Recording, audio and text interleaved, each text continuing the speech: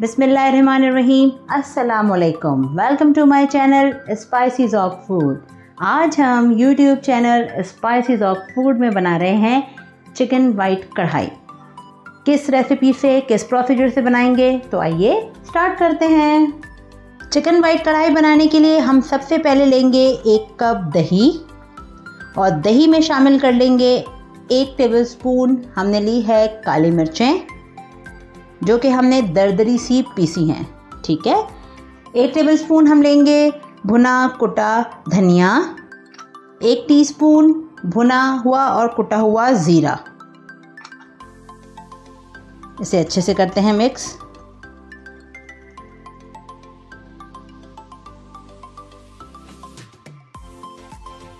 चलिए, अब इसे हम रखते हैं एक साइड पर और कढ़ाई की तैयारी करते हैं।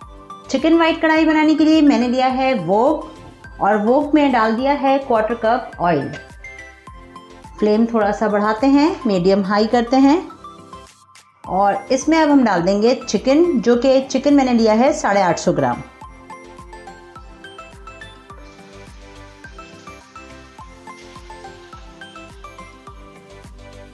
अब चिकन को हम करते हैं फ्राई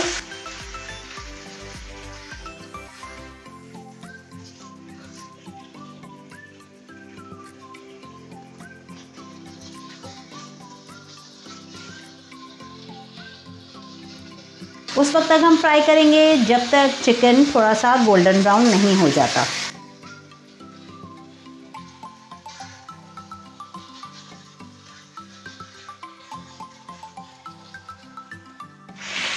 देखें चिकन का कलर चेंज हो गया है और गोल्डन ब्राउन भी होना शुरू हो गई है। अब इस वक्त हम इसमें डाल देंगे एक टेबलस्पून लहसुन और एक टेबलस्पून अदरक का पेस्ट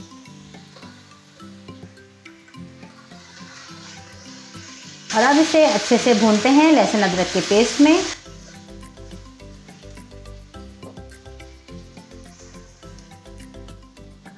चलो पाँच मिनट के लिए कवर कर देते हैं, ताकि लहसुन अदरक का पेस्ट अच्छे से भुन जाए। पाँच मिनट हो गए हैं कवर करके पकते हुए।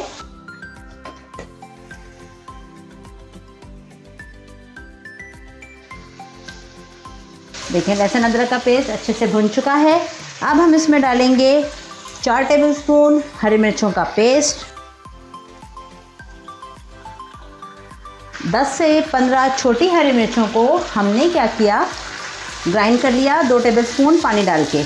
तो वो उसका पेस्ट बना लिया है। क्योंकि हम बना रहे हैं वाइट कढ़ाई, मज़ेदार सी, चटपटी सी तो इसमें हम लाल मिर्चों का इस्तेमाल नहीं करेंगे। लहसुन और अदरक के पेस्ट के साथ भून लिया। अब हम हरी मिर्चों के पेस्ट के साथ अच्छे से भूनेंगे।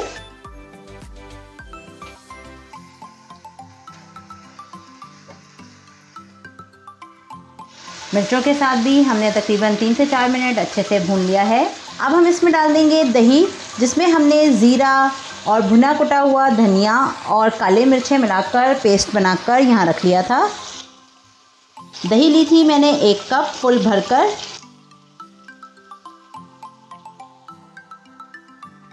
अब अच्छे से मिक्स करते हैं। और इस वक्त अब हम इसमें शामिल कर देंगे एक टीस्पून भरकर मैंने लिया है नमक। और एज पर योर टेस्ट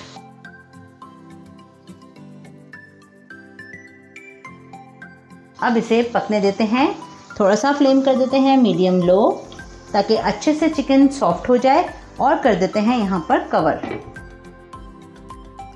चलें चेक कर लेते हैं। ये देखें, दही का पानी अच्छे से खुश्क हो गया है और चिकन भी सॉफ्ट हो गई है। अब हम इसमें डाल देंगे एक टीस्पून, मेरे पास है ये गरम मसाला। ये डालते हैं। हाफ़ डालेंगे, हाफ़ बाद में डालते हैं। और वन थर्ड कप क्रीम है। टेट्रा पैक की क्रीम यूज़ कर रही हूँ। अगर आपके पास दूध की बलाई है तो ये तो बहुत ही ज़बरदस्त बात है, वो भी आप यूज़ कर सकते हैं। मिक्स करते हैं। क्रीम के साथ पकते हुए हम इसमें डाल देते हैं चार से पाँच हरी मिर्चें। और कवर कर देते हैं। पाँच मिनट हो गए हैं, पकते हुए चलें चेक कर लेते। हैं देखें क्रीम का सारा पानी भी खुश्क हो गया और दही का पानी भी खुश्क हो गया है। अब अच्छे से ग्रेवी तैयार हो गई है। इसमें हम डालेंगे इस पॉइंट पर लेमन जूस जो कि मैंने लिया है। दो बड़े लीमू को जूस निकाल लिया है। तकरीबन तीन टेबल स्पून के करीब लेमन जूस डाल दिया। दो बड़े लीमू का निकाला जूस। चलें, इसे इस पर डाल देते हैं। लेफ़्ट ओवर गरम मसाला।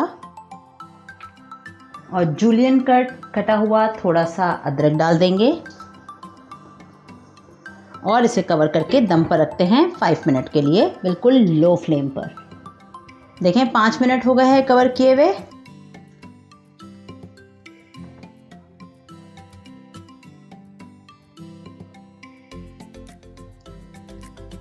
सेट हो गई है चिकन कढ़ाई। वाइट चिकन कढ़ाई बिल्कुल तैयार है। अब हम इसे डिश आउट करते हैं और दिखाते हैं फिर फाइनल लुक मज़ेदार white chicken kadai. Spices of food के स्टाइल में तैयार है। ये देखें, झटपट, मज़ेदार सी, चटपटी कढ़ाई बनाई हमने। हमारे तरीके से ज़रूर बनाइए और कमेंट्स में हमें बताइए कि कैसी लगी आपको वाइट चिकन कढ़ाई की मज़ेदार रेसिपी चैनल को सब्सक्राइब करें लाइक करें वीडियोस को शेयर करें और बेल आइकन को ज़रूर प्रेस करें ताकि आने वाले वीडियोस के तमाम नोटिफिकेशंस टाइमली आपको मिल सकें। चलते हैं दुआ में याद रखिएगा। फिर लौटेंगे इन एक नई मज़ेदार और आसान रेसिपी के साथ। तब तक के लिए अल्लाह हाफिज़।